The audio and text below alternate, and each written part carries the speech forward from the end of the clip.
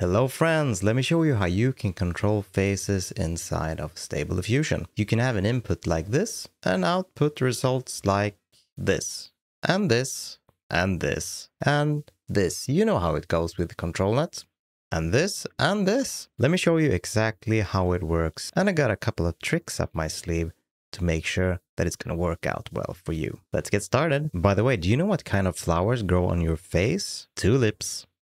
If you're new here and uh, need to install ControlNet, check my previous video on that. I'm also gonna link it in top right corner right now if you're on computer. If you're on mobile, you're probably gonna have to check it in the video description. All right, so I've loaded up Stable Diffusion here. I'm gonna drop an image into ControlNet here, which is an, uh, a woman shouting that I just now generated. And we're going to enable ControlNet. We're going to set the preprocessor here. There are a couple to choose from when it comes to the face and getting the face to work. And let me, let me quickly show you. So you have the face here, the face only, potentially also the full, depending on, on your uh, image. But for this particular image, we're going to use the face and the face only. So let's start with the face. And let me show you. If you click allow preview here and press the little uh, explosion down here, you can see a preview of the preprocessor. So as you can see here, you have dots going outside on the outline of the face, on the mouth, the nose, and around the eyes. So here you can control the pose of a face. Now the difference between face and face only, now that is the little lines here. And that indicates well, the direction of the head and the upper torso or, you know, the, the shoulders here. So if I would set this to face only, for example, I would not get those lines. I would only get the face. And you might ask, well, what, what does that mean? What can I do with that? If you use this, then the body can take any shape around this face. If you have it at this, then the body is restricted to having this pose. It's a little depending on what you want. Now, if you're using full here, you would get the same result because it's basically a full body with the face. It really doesn't matter if you're using full or face if you just have a portrait. For the model here, you're going to want to use control version 1.1 and then here the open pose. Now we are using Stable Diffusion 1.5 models and this is the correlating model in ControlNet. There are 2.1 models out there, so you can find those if you want to use a 2.1 model. For now, we're just keeping the control weight at 1, the starting control step at 0, and ending control step at 1. So without making any real changes here, I'm just going to type in woman. I'm using the deliberate model. I'm having no styles here. I'm going to generate four images. Now we got four images here and three of them, the mouth is similar to the original.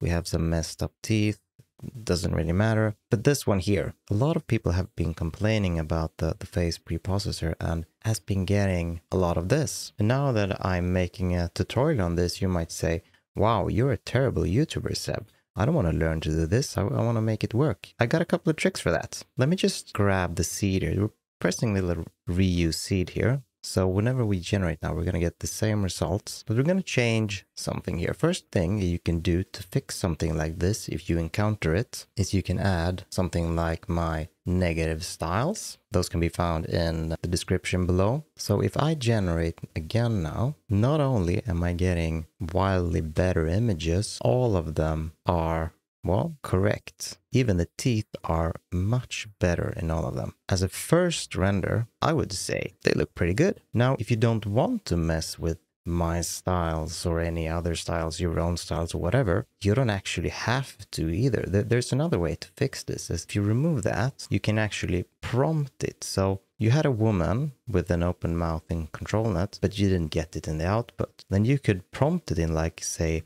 woman shouting. Now we're still using the same seed here now, but hopefully we should now get four images with women with their mouth open like in the image here because we've told the AI the woman is in fact shouting. So now it has like two inputs. It's a ControlNet input where it says an open mouth and the text input where it says, okay, she's shouting. So all four images here are much better than what we had originally. And now if you combine the woman shouting here with, for example, a default negative. We're going to add the digital oil painting and perhaps even a skin enhancer here. And then we're just going to weight this up a little bit. So now if we run this again, four images where all the women are shouting, the mouth is open, similar to the control net. We have the same pose, everything, and we're getting images that are more in line of what you would want or expect from a model like deliberate. So this is more similar to, well, the actual input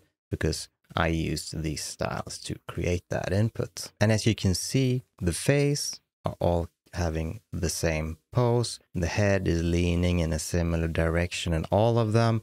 The shoulders are kind of lined up. It's a little higher here on the right side and in all of them. So it's keeping the control net pose and the face pose exactly as intended. So that's uh, super good, super great. And that's exactly what we wanted. Now, if you would change this to the open pose face only model, like we talked about earlier, removing everything that has to do with the body. So now Stable Diffusion can create the body well, basically anywhere. It's gonna create it obviously under here because that's where the body is compared to a face. However, we're gonna see a lot of changes in the shoulders compared to our previous images where the shoulders were a little higher on the right side. Now we can see here it's actually the other way around. Now the shoulders are high on the left side in actually all our images because it is now adapted to the face and the head position. And just looking at these from a first render, this is a low-res 512 by 512. This is before any image-to-image -image upscaling or inpainting has been done. So we're getting some great results at this early step. Now you could continue in, in making the, these even better.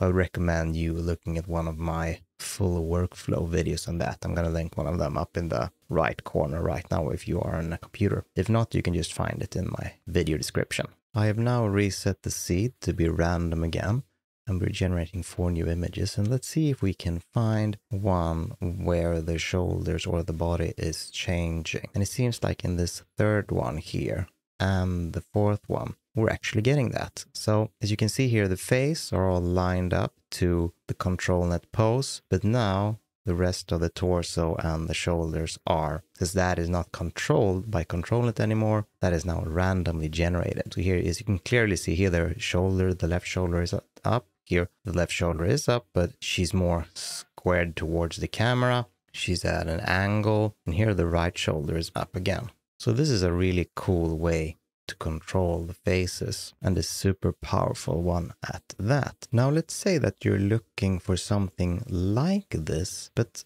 you want some variations into it and then I would change the ending control step here. Here it says we're going to start control step at zero and then we're going to run it for 14% of the full render. And that's what's happened here. You can see in the right one here and the right one here, we're very close to our original. As Stable Diffusion generation is random, this one has started like the right one, ran for 14%, and then it decided from this sort of output, well, actually the, the control net we had previously, and then continued to recreate that into this. So it's skewing what we had. And it's the same in this one. There's a slight angle in these three. If you just look at them at a glance, you would say, oh, they're all similar, but they're actually angled much more different than the previous examples where we had control net from 0 to 100%. So that's a cool way of working with control net and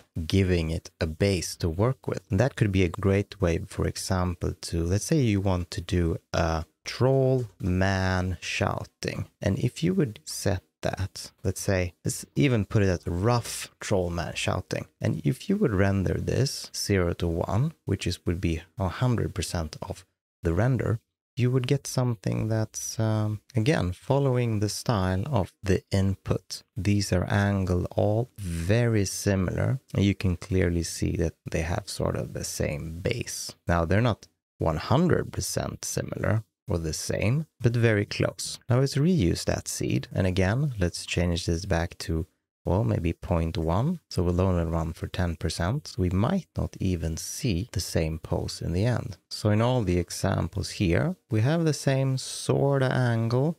You can see that it's, again, similar. But if you look closely, especially on the top right one here, where he's angled a lot to the right, and this one bottom left here, he's much more angled towards the camera. So again, a very powerful way to give a little chaos or a little randomness back into your generation. Perhaps you have an input that isn't perfect, but just similar to the composition that you're looking for.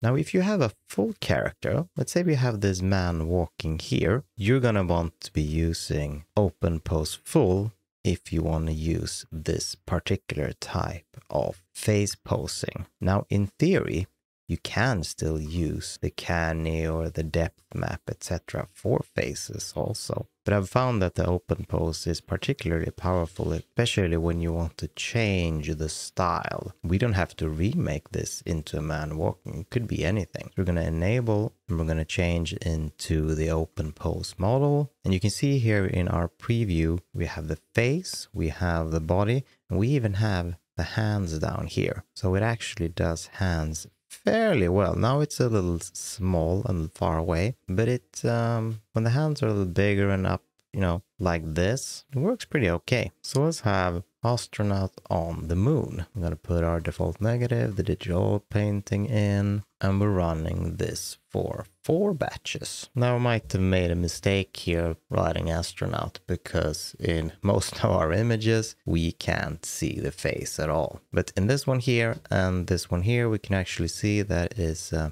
leaning towards the right. Obviously this isn't a good face, but that's not what we're looking for at this stage.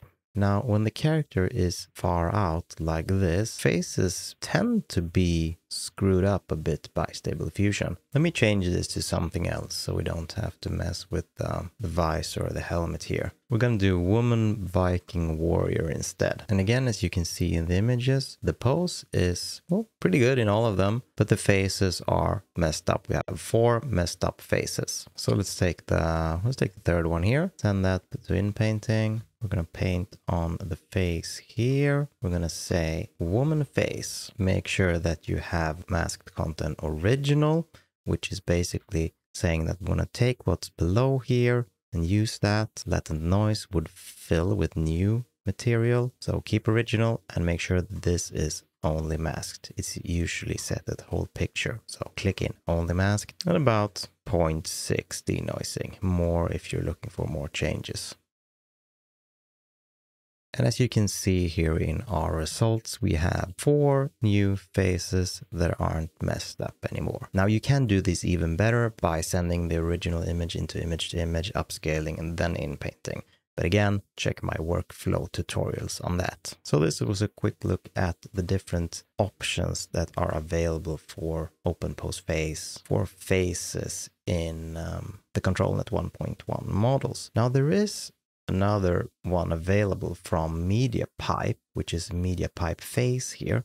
And this is a separate one, and it's actually, I believe it's from a different, uh, I'm not sure if I want to say company, but the different developers at least. And then you're going to load the MediaPipe Face here. I'm going to link this in the description below. Now, I do think the original works just fine, but this has some strengths that the other one doesn't. You can see clearly here that Instead of all the dots that we were getting before, now we have a little more detail around the eyes, the eyebrows, and the mouth here. So let's go back and take our woman shouting and quickly looking at these at a glance. They're fairly similar to what we had in the ControlNet 1.1 face models. But you're gonna have to test for yourself see what works best for your use case. Like I said, it adds a little more detail, especially around the eyes and, and the eyebrows here. So at least now you have options to choose from, and, and that's great because if one thing doesn't work out for you, you can try the other and, and vice versa. I hope this little explanation helped you.